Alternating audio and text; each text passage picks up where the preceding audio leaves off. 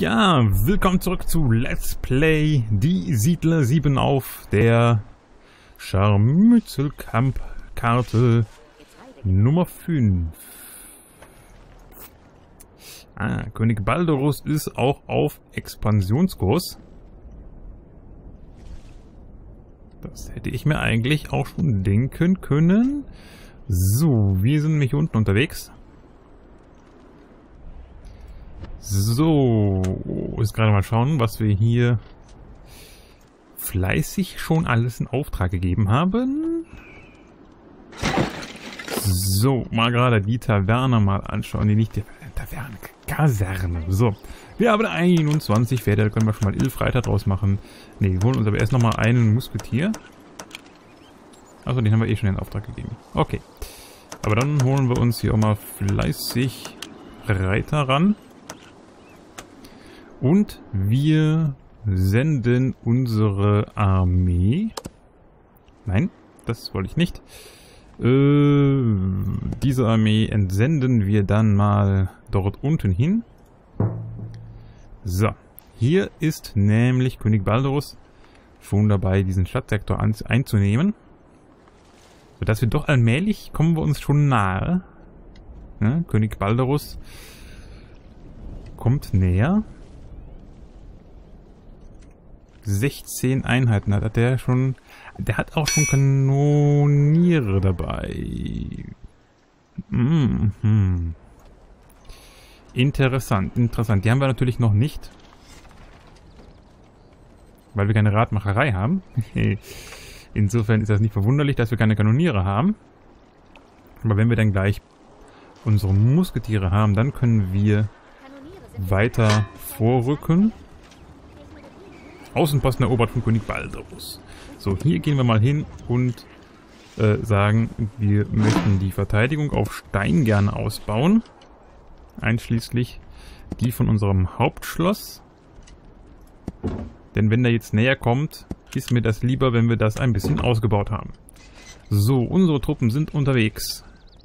Hier unten hin. Dort wollen wir die Kanonengießerei einnehmen. Also ich möchte das. Ob meine Siedler das wollen, weiß ich nicht. Ich habe sie persönlich nicht gefragt. So, hier hatten wir doch auch noch eine Eisenschmelze am Laufen, ne? Genau, die arbeitet zwar nicht ganz so viel, aber immerhin. So, Kohle ist auch da. Dann können wir hier eigentlich anfangen, Räder zu produzieren. Zack, da, flupp und eine Radmacherei ran. So, dann, was brauchen wir noch? Die Kasernenausbau brauchen wir. Ne? Kasernenausbau, wichtig. Zack. Den geben wir mal in Auftrag. Wir müssen das Ganze mal ein bisschen beschleunigen. Ähm, Händler. Handeln müssen wir. Wir müssen wieder tauschen. Klamotten gegen Gold. Da können wir reichlich mal tauschen. 9 mal 3, weiß nicht, was 9 mal, 9 mal 3 ist. Ne, ist zu viel. Äh, 6 mal 3, es geht. Oder machen wir mal 5 mal 3, das sind 15. Bleiben noch 2 übrig.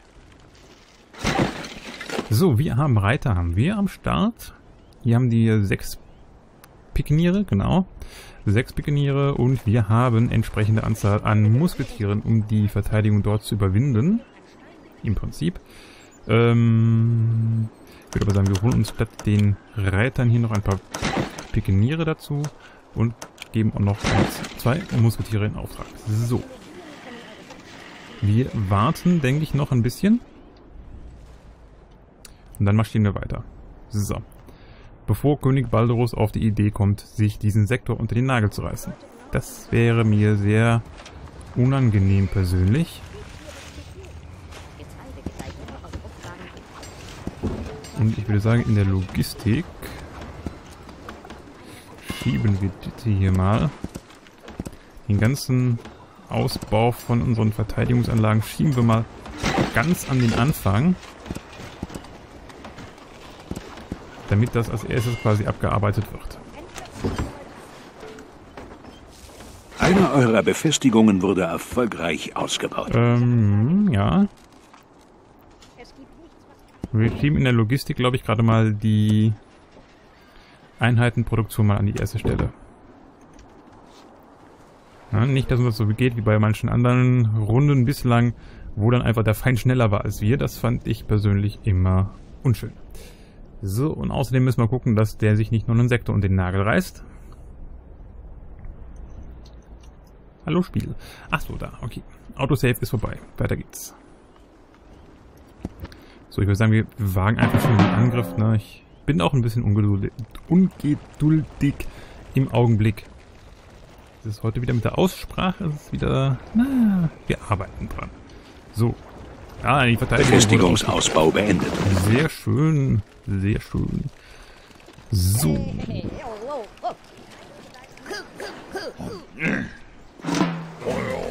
Neue Soldaten, das ist immer gut. Okay, König Baldurus zieht sich zurück. Ahnt wahrscheinlich, dass er gegen uns nicht ankommt.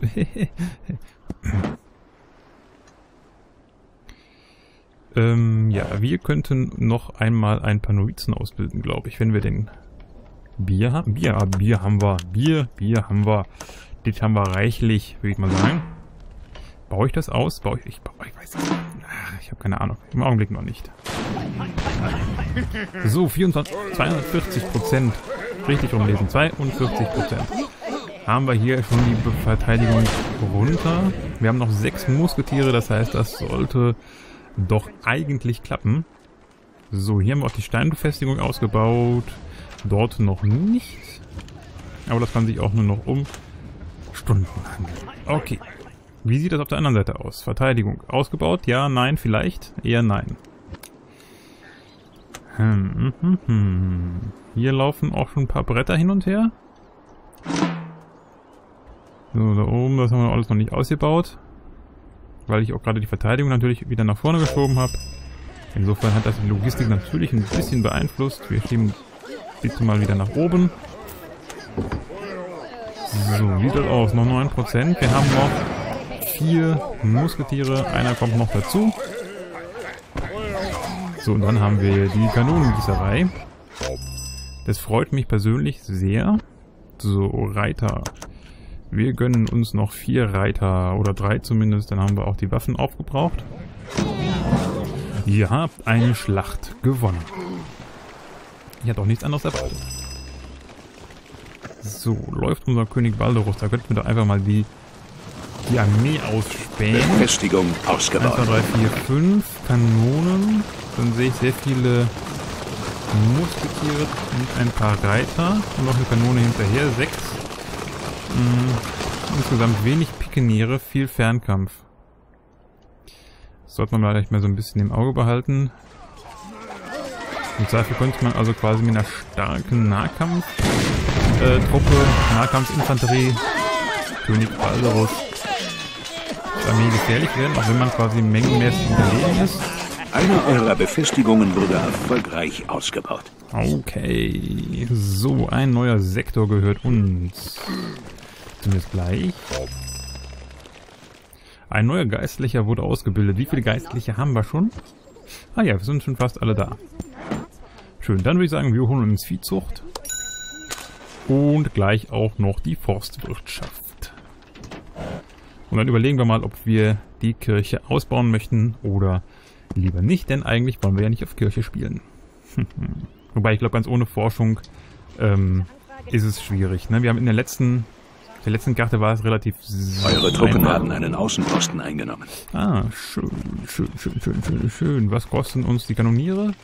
Klamotten. Ja gut, Klamotten haben wir, Ringe haben wir ja eher nicht so. Aber wir könnten mal zwei Kanoniere auf jeden Fall mal holen und die Verteidigung ausbauen. Ganz wichtig, Verteidigung können wir auch direkt ausbauen. Reparieren wir nicht erst, bauen wir direkt aus. Oh, da unten kommt uns König Baldurus sehr nahe. Ne, das gehört nicht mir, das gehört mir, ne? Da müssten wir mal überlegen, ob wir unsere Truppen nicht hierhin entsenden möchten. Und ich glaube, das möchten wir. Auch wenn wir ja keine Chance gegen ihn hätten. Ihr habt erfolgreich ein Gebäude ausgebaut. Habe ich hier nicht die... Doch, habe ich, ne? Aber machen sie nicht. Hm. Wo ist das denn in der Logistik? Ne, das ist das letzte, was ich in Auftrag gegeben habe. Das ist hier das... Das müsste das hier sein, ne?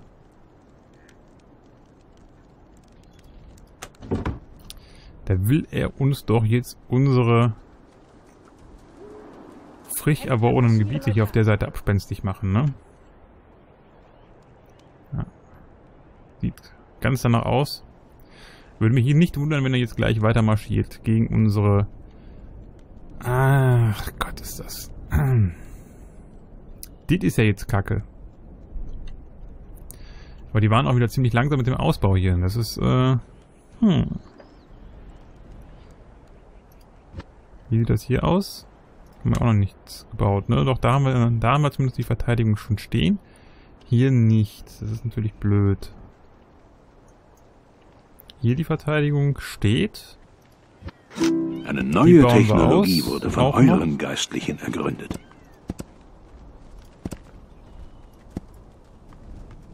So.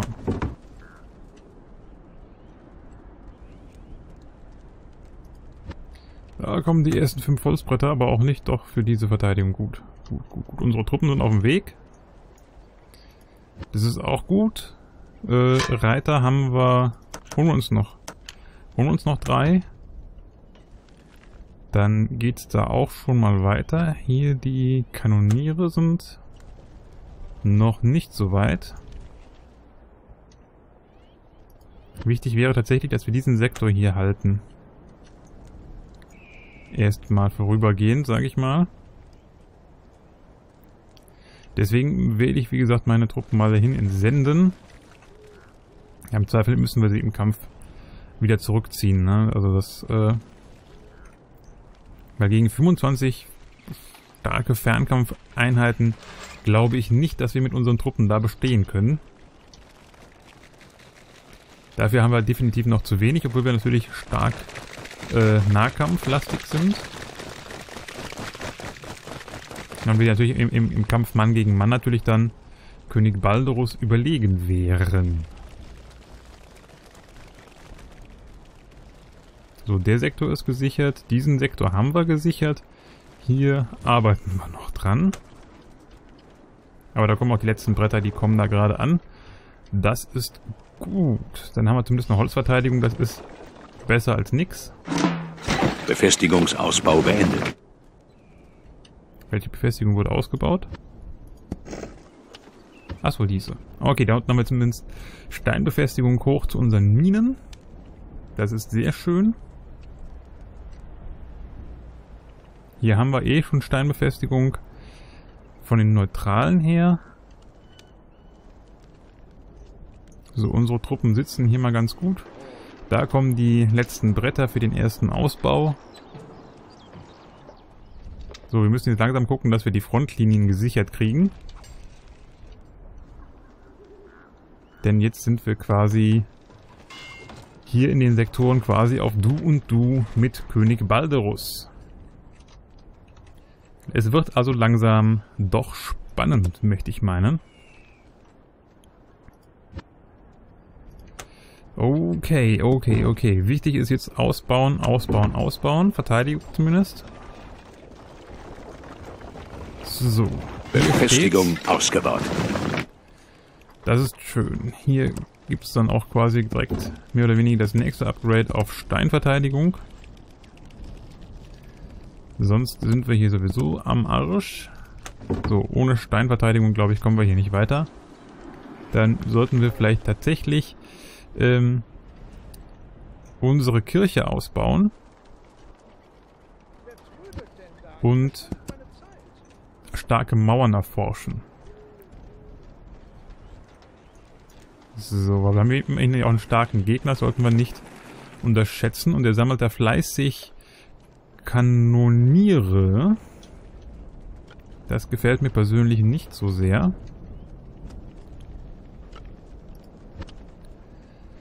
Außerdem hätten wir natürlich dann auch Brüder, die wir dann zur Unterstützung unserer Truppen entsenden. Eine eurer Befestigungen wurde erfolgreich ausgebaut. Okay, dann geben wir hier auch direkt den nächsten Ausbau in Auftrag und setzen das in der Logistiklinie auch wieder ganz nach vorne, den ganzen Ausbau. Rotz hier. Aber das Schloss hier setzen wir ein bisschen zurück. Befestigungsausbau beendet. So, wo war der Befestigungsausbau? Der Befestigungsausbau war auf dieser Seite. Okay, wir haben die Kanonengießerei befestigt. Müssen wir das nur noch reparieren. Okay, hier haben wir was für ein Problem. Was denn das denn hier? Kohlebergwerk. Da habe ich vergessen, die auf Geologen zu setzen. Dann holen wir das doch eben nach. Hier fehlen Baumstämme. So, wir müssen hier unten auf jeden Fall auch die Holzproduktion und die Grundproduktion ein bisschen an, anwerfen. Dass unser Holz quasi nicht immer von der anderen Seite der Karte geholt werden muss, weil das verzögert natürlich den Ausbau unserer Verteidigungsanlagen natürlich auch, ne? Ich meine, jetzt den Vorteil haben wir Stein. Stein ist vor Ort. Stein ist im Prinzip direkt vor Ort. Das kann hier direkt vor Ort abgebaut werden. Insofern sollte der Ausbau auf Stein in dem Gebiet hier zügiger gehen. Außerdem fehlen hier Lagerhäuser. Wir brauchen hier mehr Lagerhäuser, damit unsere Transportwege kürzer werden. Sonst haben wir hier nicht genug Siedler, die transportieren. So. Hier fehlt immer noch der Ausbau auf Steinverteidigung. Aber dafür haben wir hier oben unsere, unsere Holzfällerhütten angeworfen. Das heißt, wir fangen hier auch schon an, entsprechend zu bauen. Wir bauen den Baumeister dort auch aus, die Baumeisterhütte und diese hier auch. Dann kriegen wir mehr Baumeister, das beschleunigt das hoffentlich auch alles ein bisschen. So, wir haben ein Gebäude errichtet, ein Lagerhaus. Nee, nein, da wollte ich gar nicht hin. Ich wollte in die Logistik schauen. So. Wir müssen dann gerade auch nochmal wieder Klamotten tauschen. Mal eins, zweimal diesmal. Was fehlt denn hier eigentlich noch für unsere... Also die Kanoniere sind fertig. Das ist schön. So, wir haben hier fast überall mittlerweile Steinverteidigung an den entscheidenden Posten. Oder da, wo überhaupt Verteidigung möglich ist. Das ist ja im Moment auf dieser Karte nicht überall möglich. Und dann sollten wir auf jeden Fall nochmal ein bisschen ähm, Musketiere, glaube ich, nachlegen. Wobei, da haben wir fünf Pikeniere. Ähm, wir können auf jeden Fall noch zwei Pikeniere und zwei Musketiere. Und wir holen uns auch noch ein paar Reiter und bei nächster Gelegenheit würde ich auch sagen, einen besseren General. Den können wir eigentlich auch hier hinten rekrutieren. Nee, da ist das Gold zu lang unterwegs. Wir machen das hier in unserer Taverne. Ihr habt erfolgreich ein Gebäude ausgebaut. So, ähm... Gut in Heißsporn, ne? Angriff, äh, gut im Nahkampf, gut im Angriff auf Befestigung. Das war immer, damit sind wir bisher immer gut gefahren. In Kombination mit einem Standardenträger. So. Soll ich jetzt mal in die Logistik schauen? Okay, die Kirche wurde ausgebaut. Dann können wir uns jetzt um die starken Mauern kümmern. 3, 4, 5. Holen wir uns auch direkt die fünf Brüder, die wir noch brauchen. Und noch Ah, sechs Novizen. Gerade in Technologien reinschauen, brauchen wir zwei Brüder für starke Mauern. Ich meine, wie gesagt, ganz ohne Forschung, glaube ich, geht es nicht, dass wir gegen einen starken Gegner wie König Balderus äh, bestehen können, weil sonst haben wir wirklich nur schlachtenmäßig unterwegs. Ist vielleicht auch ein bisschen einseitig. So, Befestigung wurde ausgebaut. Wo wurde die Befestigung ausgebaut? Ach, auf der Seite. Also die wurde ausgebessert. Nicht ausgebaut, ausgebessert. So, da sind fünf von neun Steinen bereits angeliefert worden. Das heißt, auch hier können wir allmählich König Balderus entgegentreten, hoffentlich. So, hier ist wie gesagt der Ausbau auch in Auftrag gegeben. Holzproduktion ist angelaufen. Gut. So, wir holen auch truppenmäßig langsam auf. 20 zu 27. Eieieiei, es wird spannend. Es wird mal wieder, glaube ich, diesmal wird es wirklich spannend. Ja, ich glaube, diesmal wird es wirklich spannend, weil wir auf Militär spielen und im Prinzip ja zu zweit quasi auf einer Vier-Mann-Karte spielen da ist natürlich auch die Kontaktpunkte... War. Wir haben ein bisschen Zeit gehabt, uns auszubauen. Das war ganz gut, glaube ich. Und wir können uns jetzt voll und ganz auf König Baldurus fokussieren. Als schweren Gegner. Meine ich? Ist, glaube ich, ein schwerer Gegner. Wenn ich mich richtig erinnere, müsste es ein schwerer Gegner sein.